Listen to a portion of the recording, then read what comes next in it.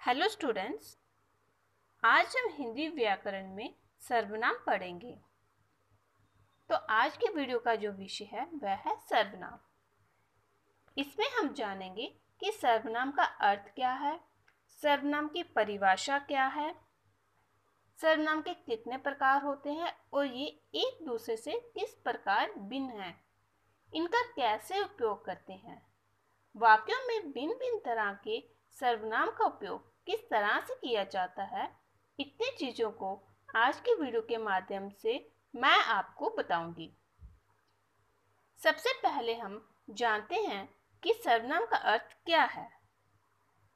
सर्वनाम के अर्थ के विषय में जानने से पहले हम सर्वनाम को देखेंगे। सर्वनाम शब्द में सर्व और नाम, दो शब्द जुड़े हुए हैं। सर्व का अर्थ है सभी। और नाम का अर्थ है नाम वाले शब्द।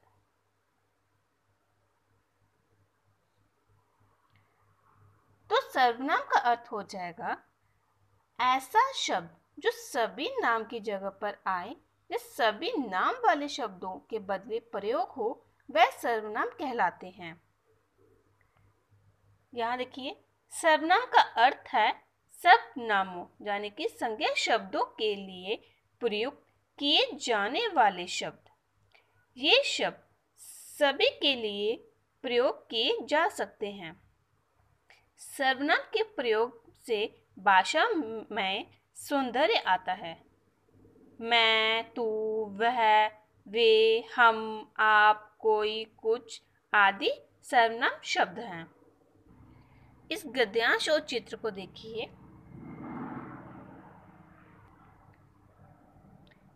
मैं संभव हूँ। मयंक संभव का मित्र है। मयंक संभव की कक्षा में पढ़ता है। मयंक के पिताजी डॉक्टर हैं। मयंक भी मयंक के पिताजी की तरह डॉक्टर बनना चाहता है। मयंक को पढ़ाई के साथ साथ संगीत का भी शौक है। पिछले दो वर्षों से मयंक तबला सीख रहा है।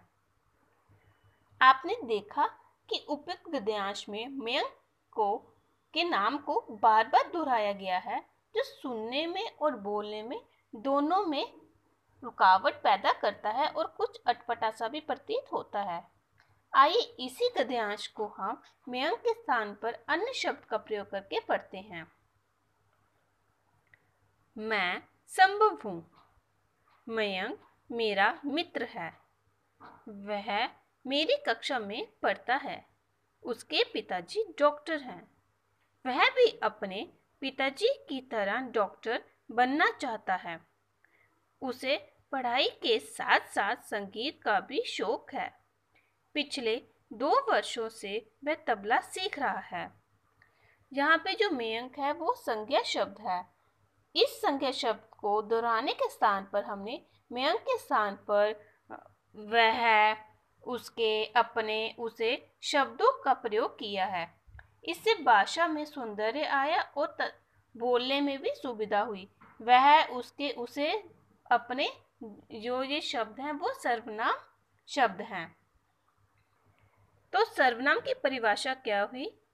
जिन शब्दों का प्रयोग संज्ञा के स्थान पर किया जाता है, उन्हें सर्वनाम कहते हैं। जैसे मैं तू, वह, वे, हम, आप, कोई, कुछ, किसी, किन्हीं, कहीं, क्या, कौन, किधर, कैसे जो सो जैसा वैसा खुद अपने आप, जो ये सारे शब्द हैं, ये क्या है? सर्वनाम शब्द।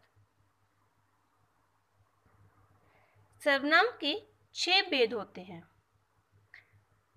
पहला पुरुष पुरुषवाचक सर्वनाम। दूसरा, निश्चयवाचक सर्वनाम। तीसरा, अनिश्चयवाचक सर्वनाम। चौथा प्रश्नवाचक सर्वनाम। पांचवा संबंधवाचक सर्वनाम। और छठा निजवाचक सर्वनाम। तो आज की वीडियो में हमने क्या पढ़ा? कि सर्वनाम दो शब्दों के जोड़ से बना है, सर्व और नाम, जिसका अर्थ है सभी नाम वाले शब्द।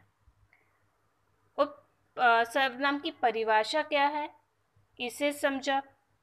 और सर्वनाम के कितने भेद हैं इसको हमने पढ़ा।